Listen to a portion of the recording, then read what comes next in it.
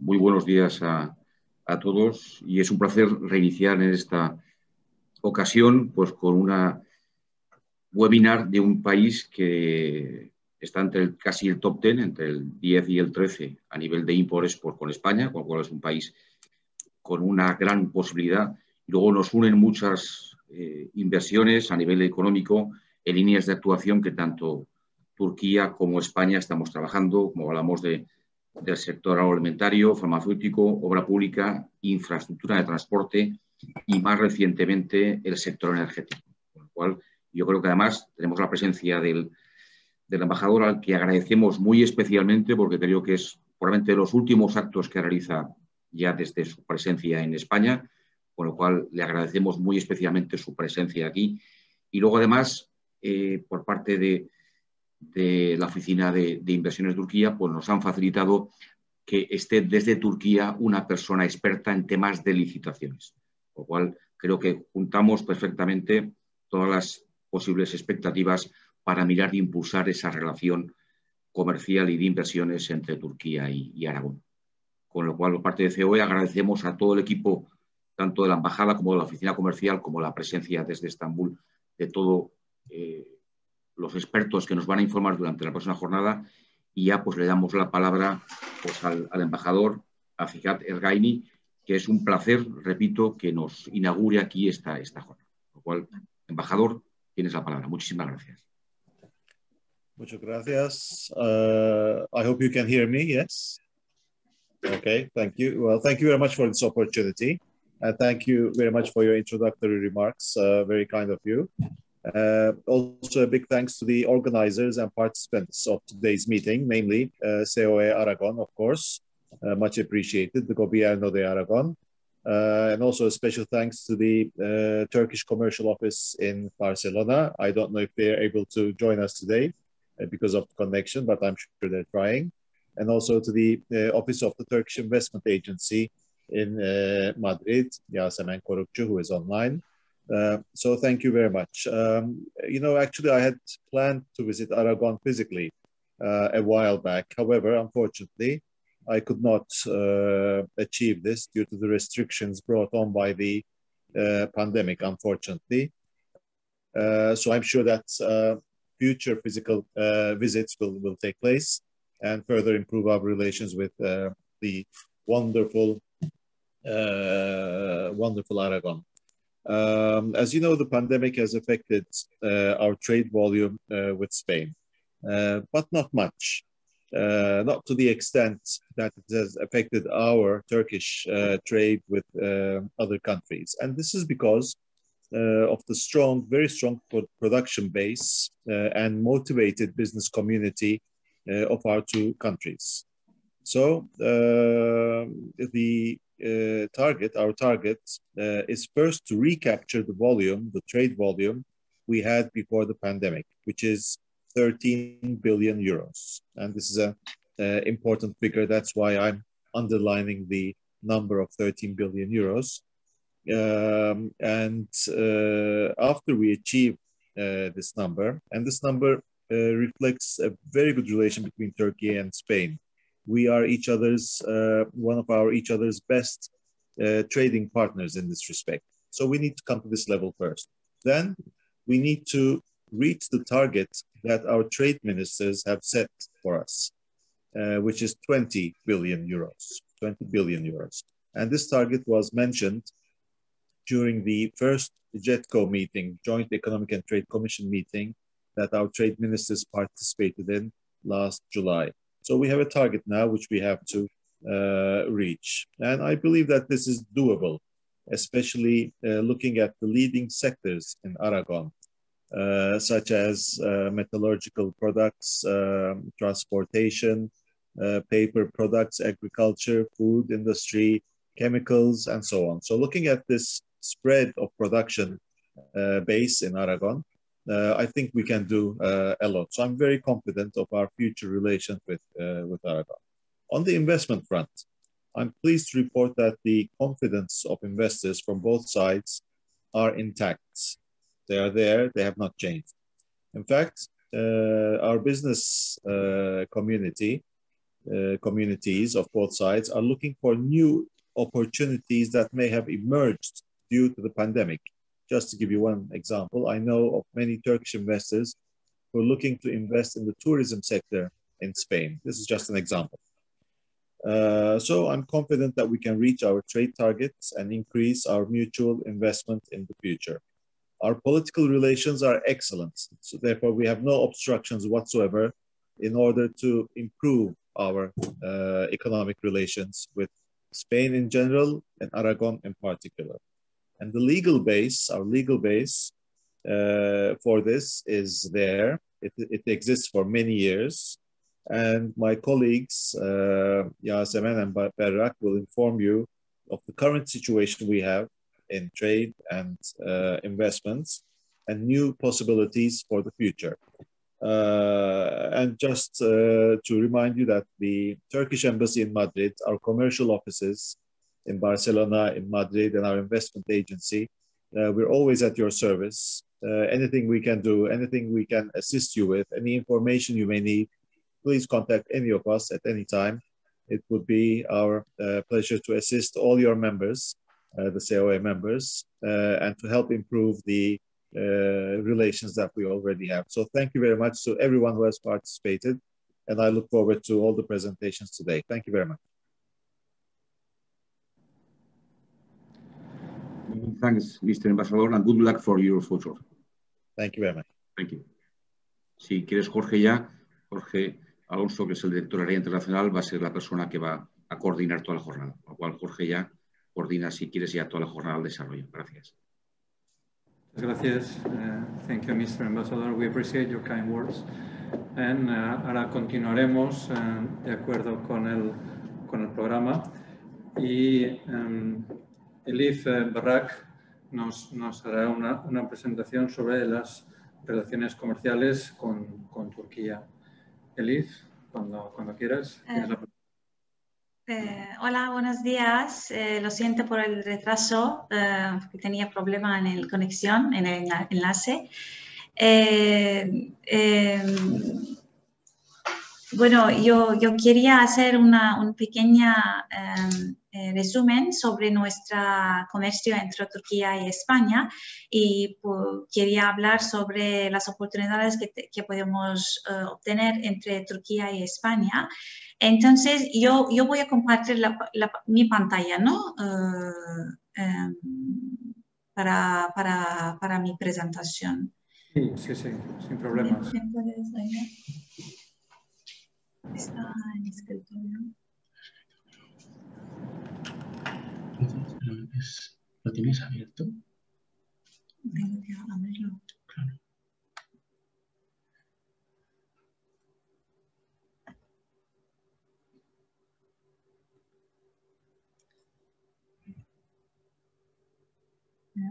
¿Sí?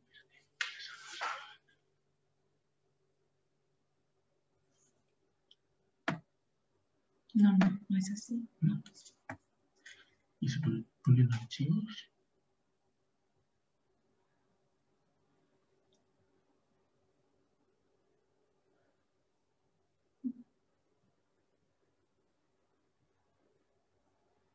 Sí. Sí. Sí, sí, sí, ahora sí. Eh, bueno, eh, empezamos con la buena vista de Capadocia. Eh, bueno, está, está, muy bien que gracias a la Unión Aduanera tenemos el comercio entre Turquía y España está bastante bien, porque con la Unión Aduanera ya, ya, ya vosotros sabéis eh, tenemos un flujo eh, libre de comercio en los productos industriales eh, porque no existen derechos de aduana ni restricciones cuantitativas por la exportación e importación de los productos industriales. Y como somos un, colaborador en Unión Aduanera, Turquía se cumpla con las regulaciones de Unión Europea, entonces producir todos los productos que estamos produciendo se cumple con las legislativas técnicas de Unión Europea. por eso el ciclo de producción entre Turquía y España está bastante integrado y en consecuencia eh, tenemos relaciones fuertes eh, en, comercio y también en, inversión. Y España es uno de los países en, Europea eh, que tenemos que, tenemos relaciones bastante bienes. aquí vosotros podéis ver que tenemos un crecimiento constante y equilibrado en nuestros intercambios y, em, como em, eh, honorable embajador ha, eh, mencionado que nuestro volumen ha, alcanzado a 10.000 millones de euros y tenemos una ambición de, eh, em, de, duplicar el volumen comercial actual y hacerlo llegar a 20 mil millones de euros. Y eh, bueno, dado el, potencial existente entre ambos países, eh, pensamos que eh, no es un objetivo ambicioso para alcanzar, que es, podemos hacerlo em, buscando em, mm, y aprovechando el, potencial entre los países. cuando echamos un vistazo en, nuestras, mm, en, la exportación de Turquía a España, eh, tenemos una dominancia eh, del sector textil y de confección porque em, eh, las grandes em, marcas españoles se prefieren Turquía como un proveedor y tenemos em, cientos de fábricas en Turquía que está produciendo para las marcas españoles y al final 20, 43% de nuestras exportaciones a España está en el sector textil y de confección.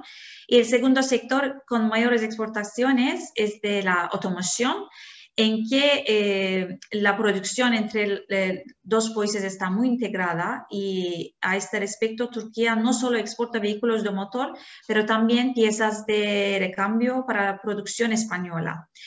Y, también cabe destacar las exportaciones de Turquía en hierro y acero y el sector químico y maquinaria. Y cuando echamos un vistazo a las importaciones de Turquía desde España, em, los sectores químico y de automoción tienen, tiene la mayor participación, junto con el maquinaria y textil de confección y el sector de hierro y eh, acero. Em, bueno, quería dar solamente una idea em, eh, sobre las empresas turcas en España. Eh, tenemos registrados 108 empresas turcas que están establecidas en España. Lamentablemente no tenemos ninguna en Aragón, pero con estos esfuerzos si podemos establecer nuevos negocios eh, ojalá eh, tendremos más empresas eh, en España y también en Aragón. Muchas de las empresas, casi de la mitad, de, un tercio de las, de las empresas se pertenece al sector textil y, se tienen, tienen showrooms y em, em, oficinas de diseño, em, la mayoría en Barcelona. Y también eh, en logística, eh, Turquía tiene eh, una dominancia también. tenemos ocho, ocho, ocho empresas que están funcionando en, en, el sector logística y está, mm, muchos de ellos están operando en transporte terrestre y transporte marítimo. Y también tenemos inversiones en el sector hierro y acero y de automoción y pensamos que em, eh, podemos, como Aragón es también una región que logística es bastante importante, eh, podemos em, aprovecharlo y eh, buscar oportunidades para este sector. como veamos el, el em, comercio exterior Turquía entre Aragón, en si veamos qué Aragón está importando desde Turquía, eh, bueno, eh, la mayoría de la importación es en el textil de confección, pero es porque uno del centro logístico de Inditex eh, se localiza en Aragón.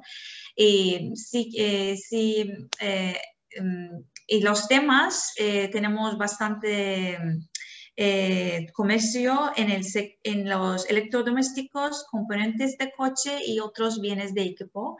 Y en la exportación también, eh, eh, en, en, el lado de Aragón, automoción está muy importante.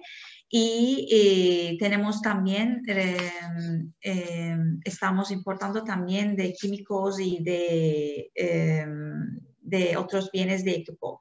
Bueno, eh, en, en, en, general, eh, si comparamos nuestro comercio con nuestro comercio en España, eh, pensamos que el comercio entre Turquía y Aragón es un poco lejos de la potencial existente que podemos buscar em, algunos sectores para aprovechar nuestra relación y pensábamos que podemos aumentar el flujo de comercio en otros sectores como de la, de la eh, automoción, maquinaria, aparatos electrónicos y de productos eh, plásticos.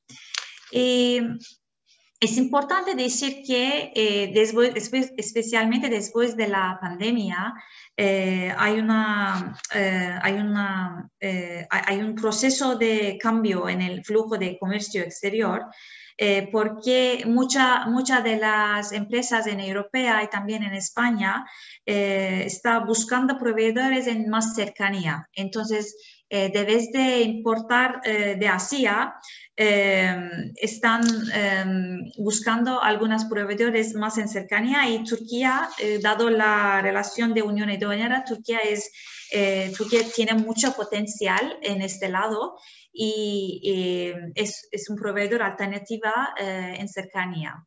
Eh, y quería dar información un poco sobre la nueva línea de oro entre Tarragona y Esmirna.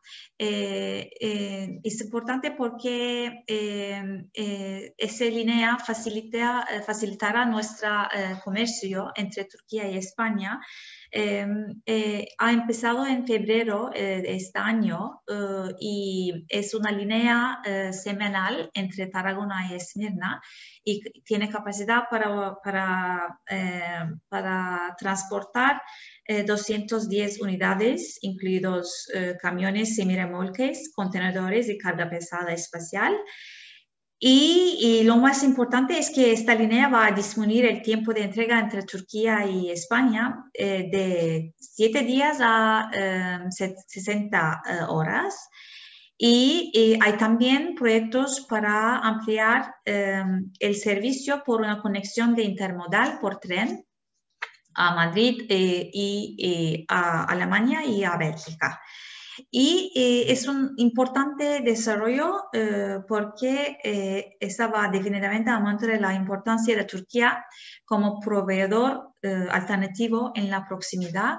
y em, por eso pensábamos que tenemos que aprovechar estas oportunidades y estas potenciales y tenemos eh, dos oficinas eh, en España. Eh, yo soy en Barcelona, estoy en carga de, también de región Aragón y, y estaremos en su entera disposición para cualquier consulta.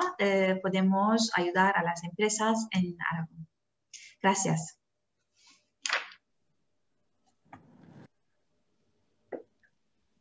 Muchas gracias eh, el eh, evidentemente, hemos visto cómo hay, hay un potencial para, para incrementar las eh, relaciones comerciales entre Aragón y Turquía y además estamos seguros que la, la línea RORO entre Tarragona y Esmirna pues contribuirá a ello porque Tarragona está apenas dos horas de, de Zaragoza, con lo cual pues nos parecen muy interesantes las, las informaciones que nos has, que nos has dado.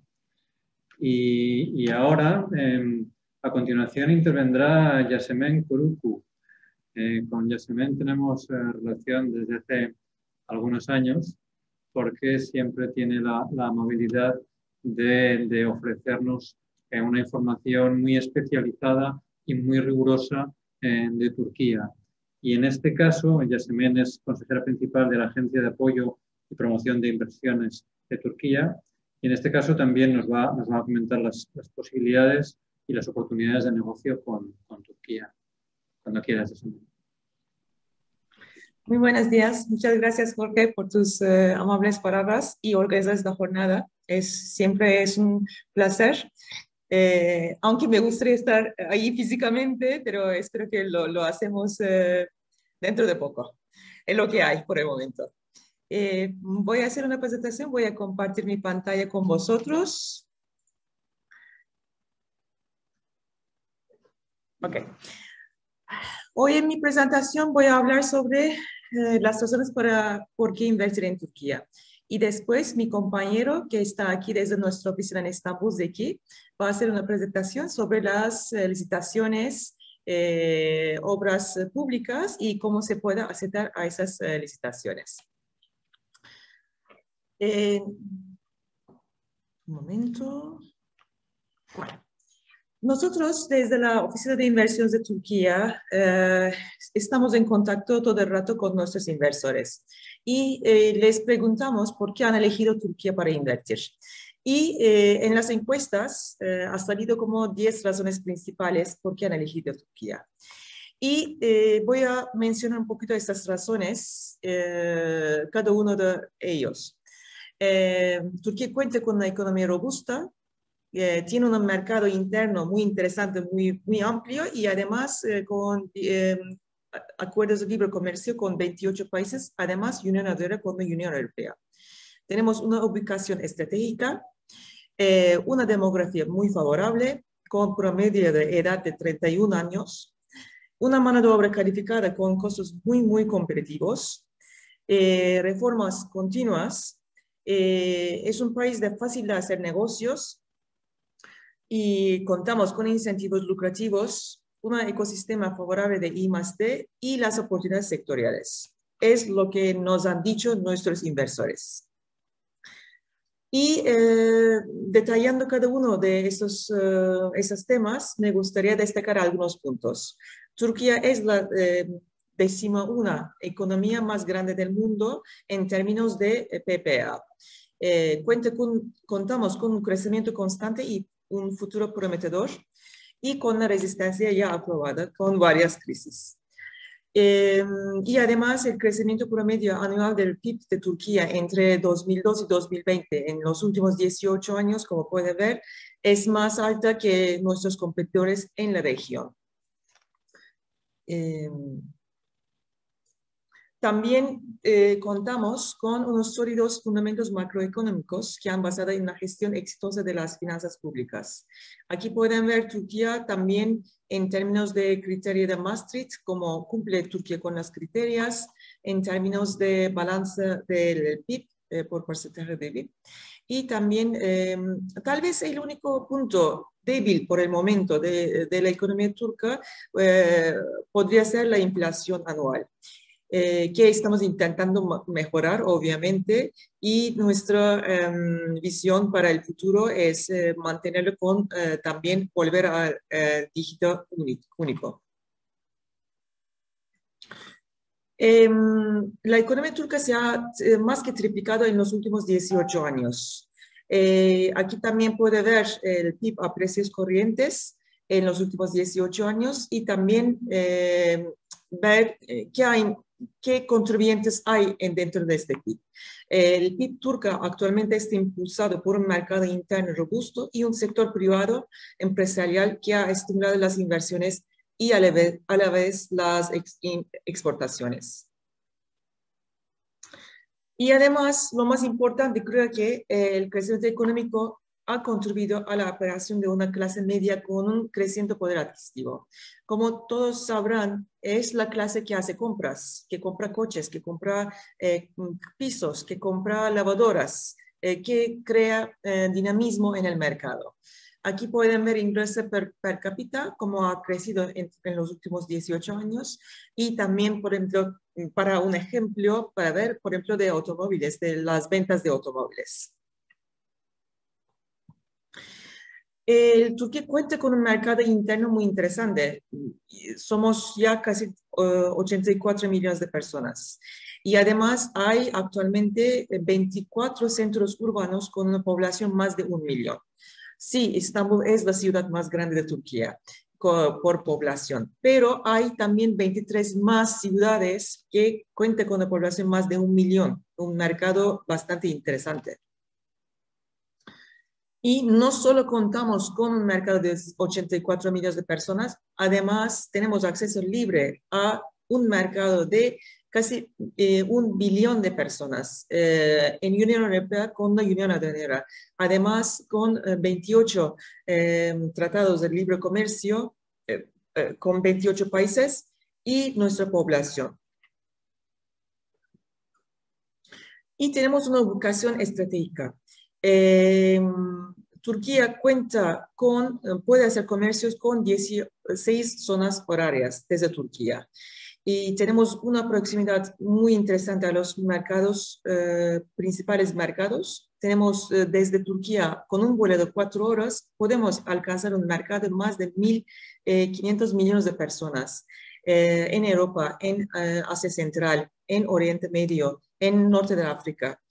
Y además, gracias a Turkish Airlines, que actualmente también con la pandemia es la aerolínea que hace más vuelos, que vuela más destinos, nos ha, nos ha ayudado bastante crear un hub en Estambul para, todo, para toda la región.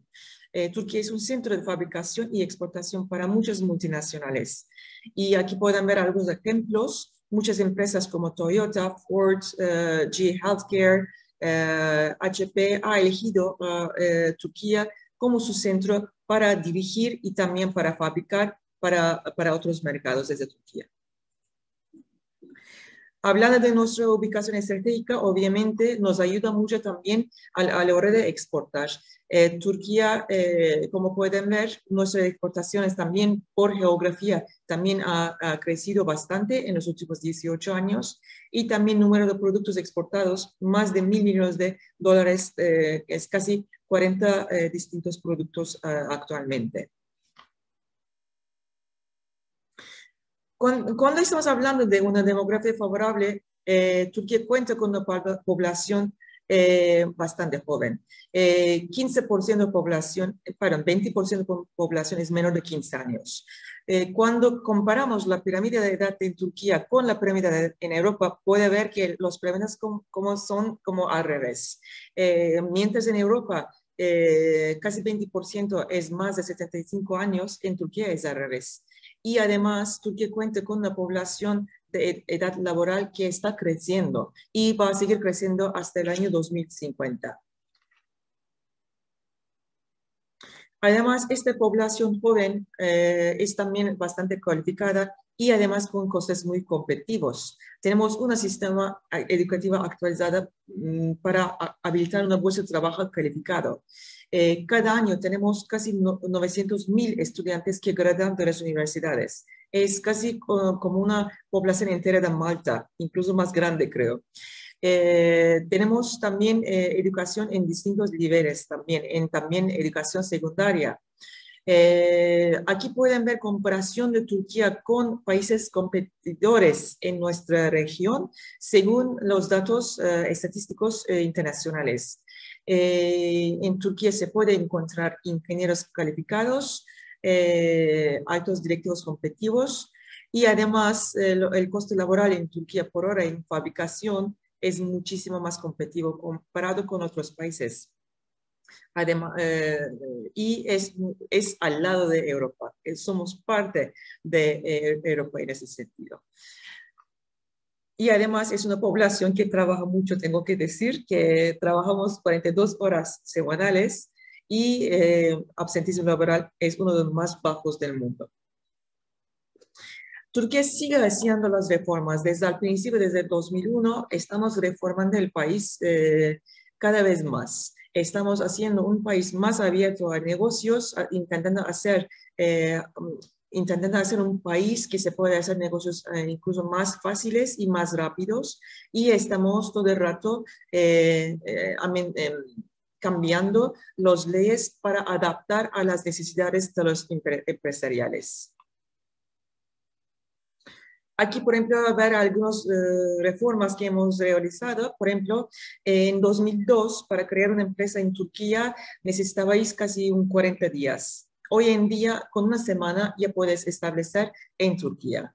Y según índice de restrictividad regulatoria de la inversión extranjera directa, Turquía es uno de los más bajos eh, del, mundo.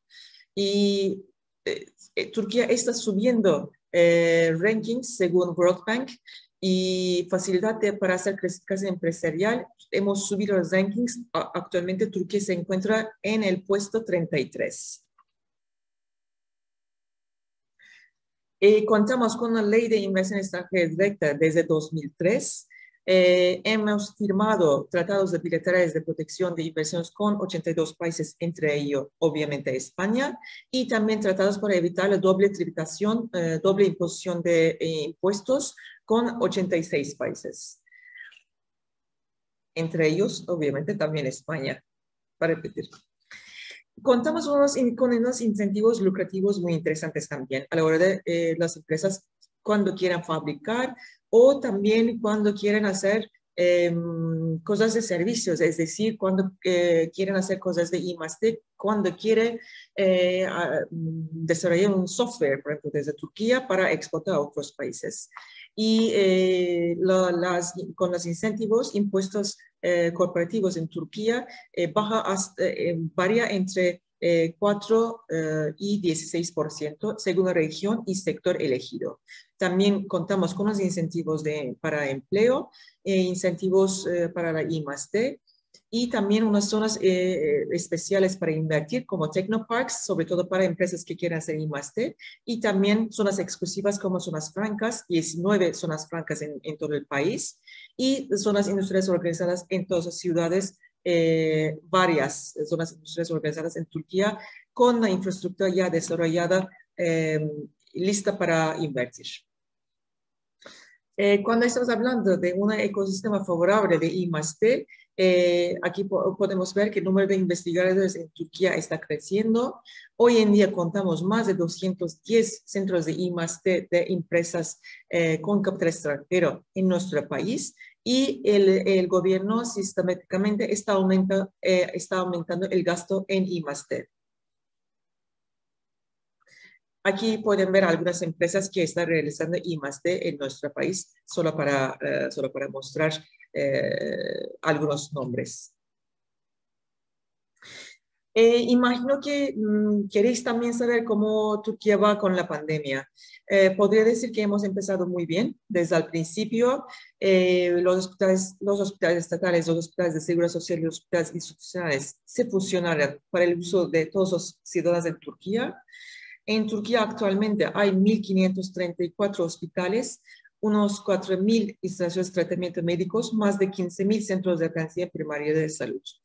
Actualmente em, en Turquía hay 46 camas de ciudades intensivos por cada 100.000 eh, eh, habitantes y, Turquía lidera eh, esos países en muchos sentidos.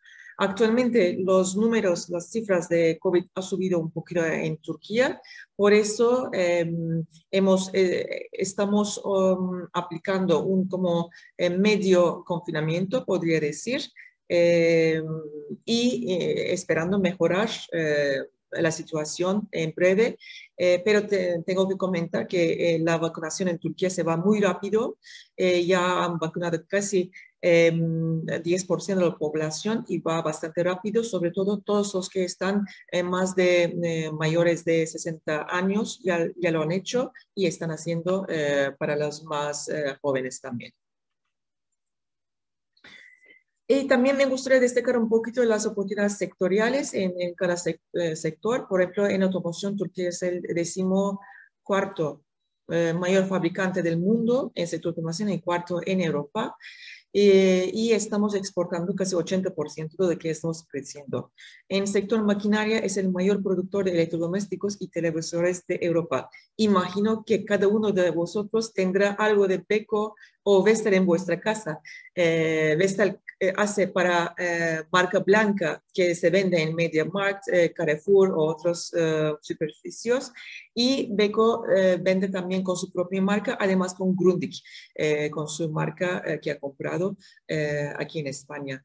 En, en temas aeroespacial y defensa, es, un, es un sector muy importante para Turquía y eh, estamos exportando bastante en ese sector también.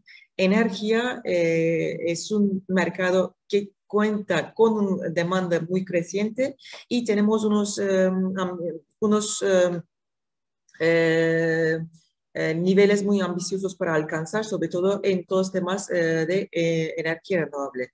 En el sector agroalimentario, Turquía es como España, eh, producimos casi todos los productos en Turquía y nos gustaría, por ejemplo, atraer más inversiones de ese sector eh, para invertir, para hacer temas de agroalimentación más, eh, más elevado. También me gustaría comentar un poquito la situación de inversión extranjera, directa actual en, en nuestro país. Eh, en los últimos 18 años hemos atraído más de 225 mil millones de dólares de inversión extranjera directa y hoy en día contamos con casi 75 eh, mil empresas con capital extranjero. Es decir, que las empresas van donde sientan bienvenidos y, y nos parece que las empresas están contentos de estar en Turquía. Eh, todavía eh, Unión Europea, con casi 70% de todas las inversiones, es el mayor eh, es el mayor inversor en el país y sectores más atractivos para invertir hasta ahora han sido las finanzas y, y, fabricar y producir, producir en Turquía. Y por último, también me gustaría mencionar quiénes somos, qué hacemos. Eh, yo soy representante en España de Invest in Turkey. Es la oficina de inversiones de, Turquía que trabaja directamente con la presidencia del país y nosotros actuamos como vuestro em, como una ventana única eh, y ayudamos a los inversores antes, durante y después de su inversión en nuestro país. Todos nuestros servicios son gratuitos. Eh, las empresas pueden comentar y pueden llamarnos eh, para cualquier tipo de eh, consulta que tienen sobre Turquía. Les ayudamos, les guiamos, les también facilitamos su reunión tanto con organismos gubernamentales como con el sector privado. Les ayudamos en todos los pasos que podrían necesitar. En, en nutshell, podría decir que hacemos la vida más fácil para los inversores en, nuestro país. Y pueden contactar conmigo eh, cuando quieran eh, a través de correo o llamarme eh, para cualquier consulta. Muchísimas gracias para esta oportunidad y estoy a vuestra entera disposición. Muchas gracias.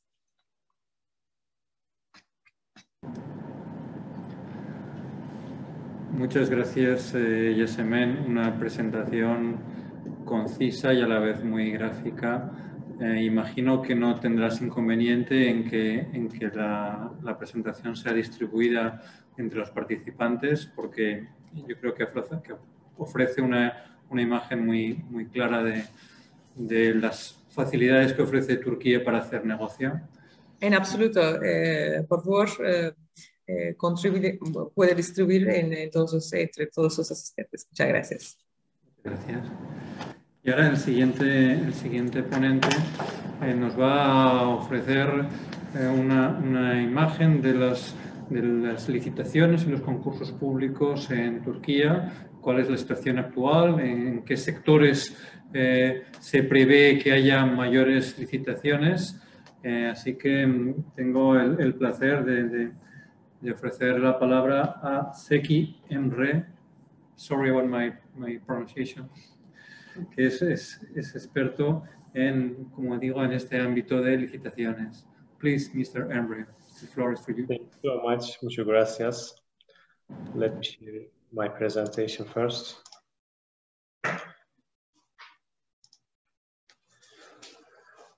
Hola, good afternoon to everyone. Uh, my name is Zeki Metekin. I work at the PPP department as a project manager. Uh, I'm pleased to address such a distinguished audience and convey the opportunities in infrastructure and the PPP sectors in Turkey. Uh, before getting into details, let me begin with the executive summary, three main takeaways from this presentation. So, so the first one is why Turkey has needed uh, these many investments uh, as our economy further integrates with the global economy. The importance of the solid infrastructure uh, system uh, became even more important to keep the Turkey competitive in international markets, as well as attracting more direct uh, in addition to that, as uh, Yasemin mentioned, the Turkey's population is growing fastly, which resulted in a lot of urban centers and connecting all those urban centers with each, each other required a lot of uh, investments in transportation as well as the communication. So that's why we have a track record of several projects. Only for the PPPs, the total contract value is $156 billion. Uh, but still, uh, from healthcare to energy to transportation, we have several investments waiting in the pipeline. Uh, that brings us to my third point. Uh, Turkey's favorable investment climate made possible to make these investments, uh, enabling structure of the investment laws as well as the favorable macroeconomic policies help us to uh, procure uh, such a number of projects in a relatively short amount of time. Let me move on to the second part. Uh, I would like to talk about some example projects and the need uh, to need investments. According to Global Infrastructure Hub, Turkey still needs $823 billion investments until 2040. Uh, when we look at the past trends, we see that the, uh, there is an investment gap of almost $350 billion in the near future. Most of the need comes from the transportation sector. So Turkish government, uh, as did in the past, uh, this year also responded to these needs by increasing the public investment budget by 83%. And as a complementary to public investment budgets, Turkey has been using the public-private partnership model for the last 18 years uh, significantly the total contract value of all PPP projects are uh, $156 billion. And out of these numbers, the $78 billion comes directly from the uh, transfer of operating rights, which are paid by private sector to the government. And when we look at the numbers, we see that uh, the total, uh, the, the total of 249 projects has reached financial closure uh, since 1986. When we look at the sectorial distribution of the contracts, we see that the airport, energy, motorway, and the health facility uh, are the prominent sectors. The high contract value of the airport projects comes from the concession fees paid by private sector to the government. And when we look at the uh, investigate the number of projects uh, uh, in terms of sectoral distribution, energy sector comes first with 97 projects. The build, operate, transfer model is the most uh, prominent model, prominent PPP model by far. Uh, the transfer of operating rights follows that and the enactment of the build lease transfer law for the health facilities in 2013 uh, make this model, this PPP model, uh, is also a, emerging one in the recent years. I would like to give some uh, concrete examples of these projects. So Turkish government has initiated a health transformation program in 2003 and within the context of this program, beginning of, uh, as of 2013, uh, several PPP healthcare campuses has been started to build by the government. Uh, as of today, the total of 20 projects has reached financial closure. and which added additional 31,000 qualified bed capacity, uh, which also helped a lot, especially in the fight against the COVID-19 period. Here uh, in this slide, you see one of those projects, Elazığ Fethi Sekin City Hospital project. The project cost is 360 million euros. The important uh, aspect of this project is it is the first green and social bond certified project in the country. It's operational now. Uh, of course, there are other signature projects in recent years. Uh, for example, Istanbul New Airport is single-handedly the largest uh, investment in the history of Turkish Republic. Uh, Yavuz Sultan Selim Bridge is the third bridge passing through the Bosphorus. Gebze-İzmir motorway decreased the total travel duration from Istanbul, which is the largest city, as you know, in Turkey, to Izmir, which is the third, third populous city in the Turkey, uh, from eight hours to three and a half hours. And the Eurasia Tunnel, uh, which connects two continents, actually, uh, it contributed to Turkish economy more than 4.6 billion Turkish liras uh, just in the first three years of operating periods. This is another project, Çanakkale Bridge. Uh, when it is completed in 2023, it will have the longest span uh, of a bridge in all over the world. Its investment cost is almost approximately $3 billion, and there are a lot of uh, international investors in this project also. So this was the examples from the past. Uh, I would like to move on what are in the pipeline, what projects uh, are in the pipeline. The Turkish government has set very ambitious targets to upgrade its infrastructure recently. We have targets in almost all sectors from healthcare to transportation subsectors to energy.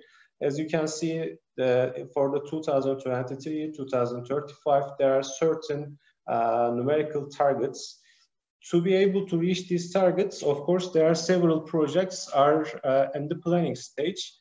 As I mentioned earlier, uh, the total number of hospital projects uh, currently uh, has reached 20, but additional 10 uh, is under planning stages with the public investment model. When we come to transportation, uh, the first sector, the prominent sector is the motorways. Um, the, the number of uh, additional 5,000 kilometers of motorway uh, is planning to be constructed until 2035 and the procurement model will be for all these projects will be build operate transfer.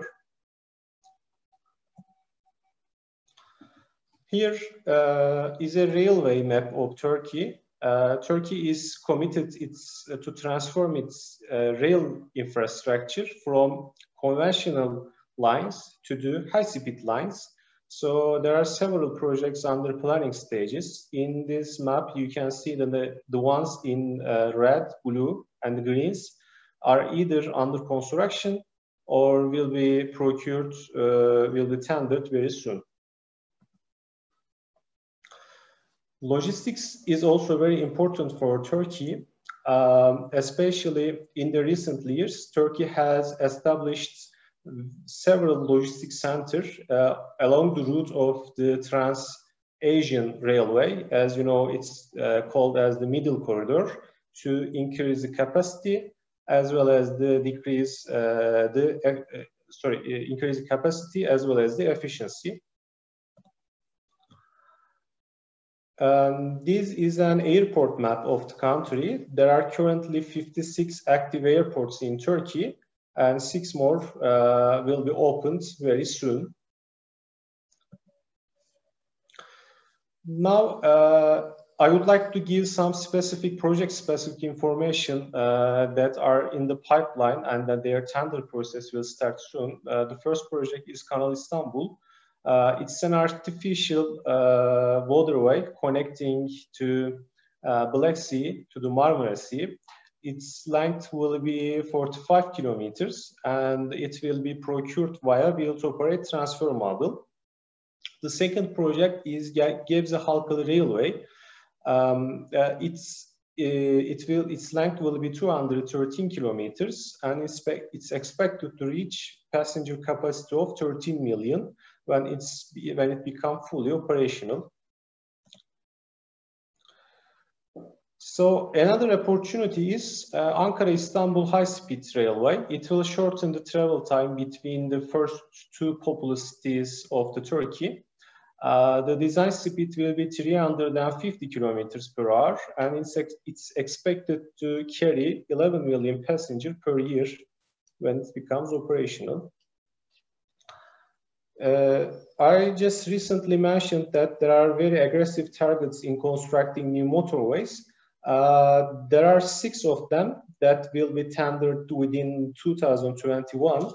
Uh, as you can see from the, uh, the map, the blue ones, uh, the blue projects will be tendered in this year. Uh, they will be procured via build, build operate transfer model and the government will provide minimum revenue guarantee in these projects. Turkey is also investing its maritime transportation infrastructure. Um, as of today, there are three prominent projects. Uh, each one of them is at the surrounding uh, seas of the country. Port of Philios at the Black Sea, uh, Port of Chandarlı at the Aegean Sea, and the Mersin Container Port is at the Mediterranean Sea. All of these projects will be procured via build, operate, transfer model. Of course, Turkey is not only uh, looking for investors at, uh, for the greenfield investments, but uh, we have a lot of brownfield investments, privatization projects in the pipeline. Uh, as you can see from table, almost, uh, not almost, all of them are from the energy sector. And most of the projects, privatization projects, are hydropower plants. Uh, after mentioning these opportunities, I would like to talk about a little bit the investment climate in infrastructure in Turkey. So in Turkey, as a foreign investor, there are three ways to participate in a project. First, uh, as a EPC contractor or financier in the public investment projects. Secondly, uh, a bidder can be a sponsor of an uh, PPP project. And the third one is the, uh, as a party of the uh, intergovernmental agreements, a, par a partner uh, can join as uh, in the very big projects such as the nuclear power plants. After that, uh, I would like to give a brief uh, summary of the legal system in PPPs. Uh, as you can see, there are four main PPP models in Turkey, build, operate, transfer, build, operate, build, lease, transfer, and the transfer of operating rights. Uh, these models governed by different laws, several laws actually, that gives uh, certain flexibility to the legal system. And uh, it's helped Turkey to procure a lot of PPP projects in relatively short amount of time. Of course, there is a very uh, significant preparation stage, selection stage behind all these projects. Only the ones that are suitable, that provides value for money to government is selected. Uh, and just as a uh, short information, an implementing agency, for example, Highways Authority, uh, prepare a very detailed feasibility report and apply for the president's authorization and the president asked the opinions of the central institutions, such as the treasury, and after, based on their opinions, the president authorized the projects and the tender stage begin. So uh, the existing system, existing regulations is the investment procedures of the country. So for a no, there's no local partner requirement for a foreign company. Under Turkish law, foreign PPP investors are subject to the exactly same treatment uh, as local investors. Secondly, everyone can access the tender announcements. Uh, they are transparent, they are announced in several sources, so it's easy to access. And finally, there is an availability of international arbitration in PPP projects, uh, if any dispute arises in construction or the operation stages, uh, project parties basically opt out for an international arbitration. So Turkish government has also several incentives to make PPP projects more bankable. One of these is debt assumption mechanism. So if in the case of a default, uh, the debt of the, uh, the obligations, financial obligations of the sponsors is assumed by the debt uh, government, sorry. Um, and this, the, this assumption includes the main debt as well as the derivative products. Um, the land is given by governments free of charge in PPP projects. In addition to that, uh, the, there are there is minimum revenue guarantee mechanism in certain projects such as motorways. And finally, the sponsors, the investors are exempt from certain taxes such as uh, the value added tax or the stamp duty. So these uh, favorable investment climates as well as the uh, availability of several support mechanisms I just mentioned helped country uh, to make projects bankable and investors could access finance through both national uh, and international financial institutions. Uh, these are the IFIs that participated in Turkish PPP ecosystem in recent years. It's the end of my presentation. Uh, mucho gracias. If you have any questions, I would be happy to answer.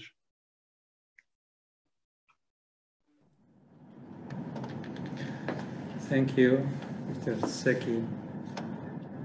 Mr. Seki Emre Tekin. And your presentation was uh, very clear, but I will ask you to stay because probably there will be a few questions after, after the, presentations. So thanks a lot. And ahora eh, vamos a, pedir a un, a un empresario aragonés eh, Pablo Blanchard, director general de la, de la empresa Algontech, que lleva un tiempo trabajando en Bursa y que ha tenido la generosidad de compartir su experiencia con todos nosotros. Así pues, eh, Pablo, nos gustaría escuchar tu, tu experiencia eh, como empresa aragonesa en Turquía. Cuando puedas. Vale. Um... ¿Me oís bien? Perfectamente. Vale, voy a compartir mi pantalla. Es una presentación muy, muy sencilla eh, que sirva como guía de lo que voy a contar.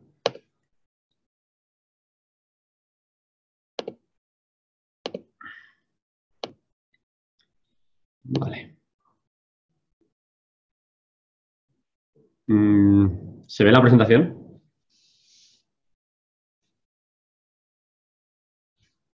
Se ve perfectamente, Pablo. Bueno, pues eh, bueno, gracias por invitarnos, eh, Jorge, a este evento. Eh, muy brevemente, me pedirán cinco minutos para contar nuestro caso en Turquía. Nosotros, una breve introducción, somos una empresa familiar, ¿vale? con origen aquí en Zaragoza. y trabajamos en el mundo de la automoción. Proporcionamos soluciones completas, desde el diseño hasta la fabricación y entrega, para piezas de plástico del interior de los coches. Eh, estamos especializados en la tecnología de soplado, donde llevamos más de 30 años y, como decía, el 100% de nuestro mercado es automoción. Tenemos plantas en España, Polonia y Turquía y, bueno, no somos muy conocidos porque nuestras piezas no son visibles para el usuario de los coches, pero al final uno de cada cuatro coches hechos en Europa lleva un producto, un producto nuestro. Em, ¿Por qué invertimos en Turquía? Pues lo primero de todo porque nos lo pidió un cliente. Eh, teníamos un cliente en España y Polonia que, tenía problemas con los proveedores eh, en Turquía, que quería que nosotros nos fuéramos ahí y, bueno, eh, también comprobamos, pues un poco como decían en las presentaciones anteriores, que es un país al alza y nosotros sí que valoramos también en su momento, porque estábamos considerando la, idea de invertir en México también, em, que, era un país eh, cercano. Eh, una de las cosas que me acuerdo que decíamos cuando decidíamos el proyecto, que nos costaba lo mismo que llegar a Polonia, ¿no? Entonces, eh, en apenas un día estábamos en, el destino y, eso lo veíamos como algo muy positivo. Em, las circunstancias, perdón, las circunstancias del proyecto, eh, por, daros un poco del contexto, eh, son la automoción trabaja con plazos muy largos desde que te adjudican un proyecto hasta que tienes que empezar a suministrar las piezas. ¿vale? Eh, nosotros contábamos con dos años para lanzar el proyecto. Teníamos una experiencia previa, como decía, nosotros empezamos en Zaragoza y, teníamos una experiencia previa de internacionalización que fue en Polonia y eh, fue un Greenfield, eh, empezamos de cero y empezamos solos y fue una experiencia muy dura. No teníamos el tamaño ni tenemos el tamaño para, empezar de cero, solos. Y entonces decidimos ir con un socio local. ¿vale? Eh, a este cliente que nos pedía que nos instaláramos en Turquía, le pedimos que nos pasara un, listado de empresas turcas con una serie de características, entre ellas que fueran también empresas familiares, y, bueno, elegimos una de ellas y, y creamos una joint venture. ¿vale?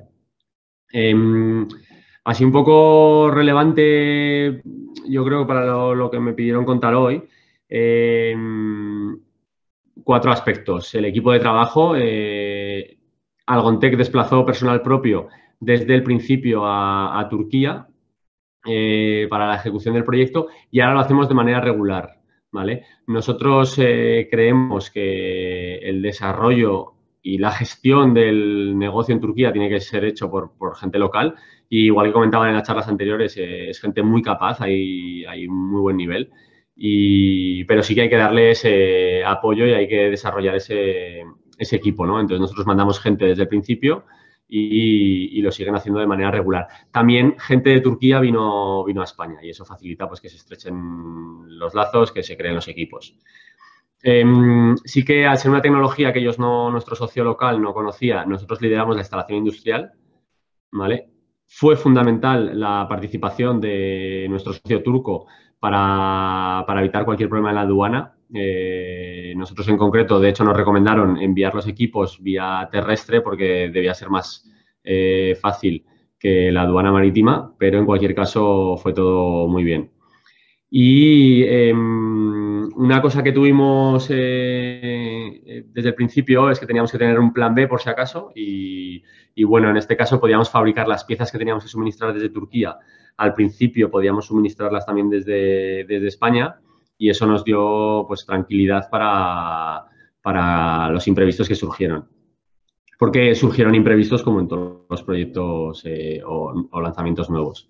Em, un poco las lecciones aprendidas y, lo han comentado también antes. Em, Turquía es un país, eh, esto nos lo dice nuestro socio local, em, que está, ha, vivido, bueno, por su posición geográfica, eh, ha habido numerosos conflictos, numerosas crisis y, ellos están acostumbrados a, sobreponerse, a superar cualquier circunstancia. Eh, es una cosa que es muy valiosa y, como digo, nosotros hemos encontrado empresas y un socio muy valioso, muy bueno y, se ve un país que está claramente al alza. Em, pero al mismo tiempo, esa capacidad, o para ellos, eh, cuando les preguntábamos por la crisis del COVID, decían, pues esto es lo normal para nosotros, estamos acostumbrados. Entonces eso ha sido, ha chocado, ha chocado con nuestra mentalidad eh, más eh, de intentar planificar, de intentar llevarlo todo bien, evitar sorpresas, porque pues bueno, están acostumbrados a, a, veces a, no planificar tanto e, e ir reaccionando. ¿no? Em, esta diferencia cultural esta diferencia cultural provoca un desgaste en el equipo ya de los desplazados y, de los que no estábamos desplazados, porque, pues bueno, al final es una manera de hacer las cosas muy distinta. Em, yo recuerdo viajes eh, al principio donde teníamos que cerrar acuerdos del año venture o, o decisiones de los proyectos que íbamos un día pensando que en una reunión de un día de sobras para tratar toda la agenda, y, al final en Turquía se hacen las cosas de otra manera, requiere mucho tiempo, eh, les gusta negociar y aunque estemos de acuerdo hay que negociar durante un rato eh, y entonces ahora los viajes son de varios días porque, pues bueno, es lo que os ponía aquí como último punto. Eh, al final estás en Turquía y, hay que adaptarse a, su manera de, ser, a su manera de trabajar. Eh, no son ni mejores ni peores, son distintos y son, como decía, muy hospitalarios. Eh, no puedes eh, ir con idea de ir un viaje de un día, a lo mejor ir a comer o cenar en una hora y media, dos horas, porque no va a ser así. los temas hay que tratarlos durante ampliamente les gusta negociar y lo hacen muy bien y son muy hospitalarios. Entonces, pues bueno, eh, esto es un poco, me pidieron cinco minutos, disculpar si he corrido, es un poco la, la, mm, experiencia de Algontec en Turquía y, por supuesto, cualquier pregunta eh, está, es bienvenida.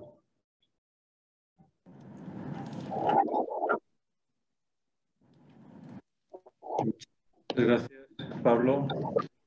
Decía eh, tu experiencia con, con, sobre todo con las empresas que, se, están, se pueden estar planteando establecerse en Turquía y que conocer la opinión de otra empresa pues, puede ayudar.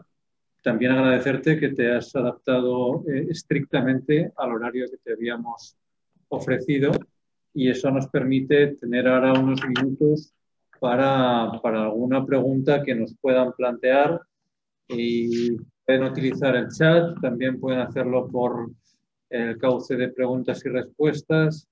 En fin, en definitiva, ahora es el momento de aclarar algún punto que haya, que haya podido no, no quedar suficientemente claro.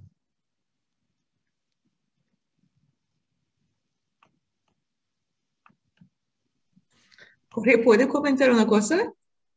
Por favor es que eh, en una de vuestras jornadas que estaba en Zaragoza hace años, eh, conocí eh, Algontec y estaba en contacto con ellos durante bastante tiempo, siguiendo desde el principio su inversión en Turquía y me, alegro de saber que ya han instalado, están bien, están contentos y, si podemos ayudar en algo más, siempre estamos aquí.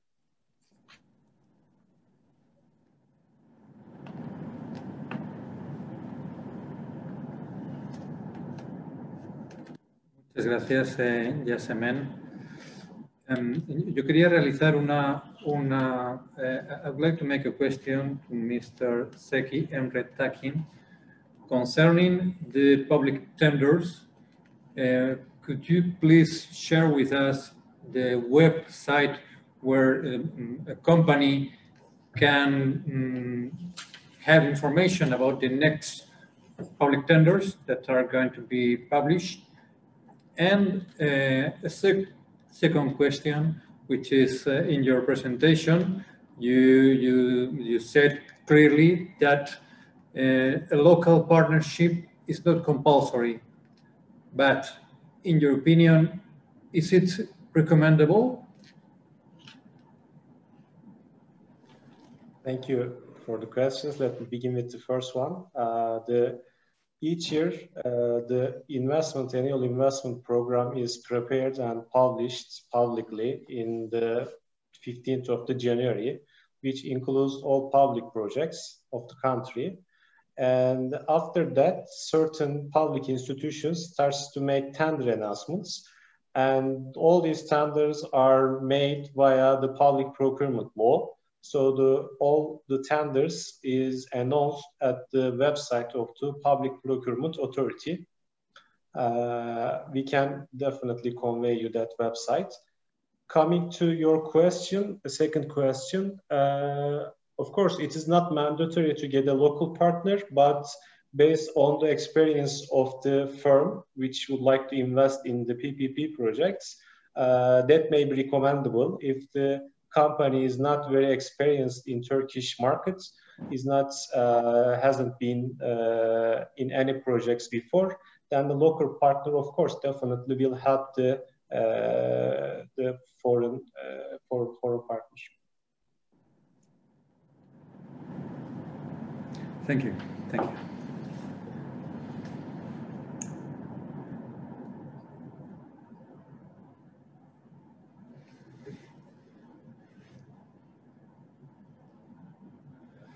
I've got another question from a local uh, factory of olives. They are asking if Turkish producers also have been affected but the barriers settled by the US administration. Eh, perdón, lo, lo, voy a decir en, en, español también. Una compañía local eh, fabricante de aceitunas nos pregunta si las, si las empresas turcas también se han visto afectadas por los obstáculos o por las barreras que estableció la anterior administración en Estados Unidos. Creo que yo puedo responder a esta pregunta. Eh, bueno, no, eh, no estamos afectados con las eh, restricciones de, de, Estados Unidos porque han sido eh, no a, Turquía, pero lo de a, España y a Italia, yo creo. Y entonces em, eh, eh, hemos, en, este lado, Turquía no, no está afectado.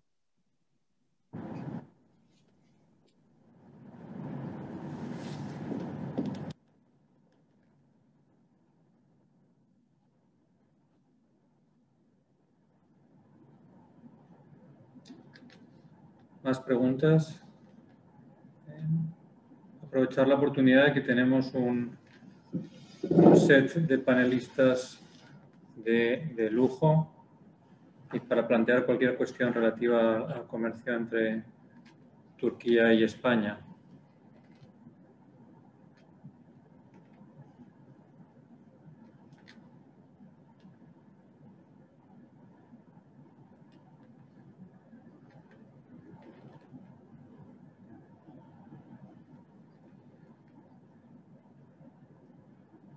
Bueno, parece que aquí también los efectos de la pandemia y la, falta de contacto físico pues retrae un poco a los, a los participantes a formular cuestiones. Así que si no hay, si no hay ninguna cuestión eh, añadida, pues yo quiero reiterar mi, mi agradecimiento a la Embajada de Turquía a la oficina comercial y al consulado en, en, Barcelona por las facilidades que nos, han, que nos han ofrecido para llevar a cabo este webinar. Eh, ya se lo decía a, a pero lo mantengo y ahora en, en, presencia del señor embajador, pues mucho más. Es un placer para COE trabajar con las eh, autoridades que están en España encargados de promocionar el comercio con, con Turquía y, y, reiterar mi más eh, sincero agradecimiento. Y bueno, con esto pues estaríamos dando ya, finalizando la, la jornada.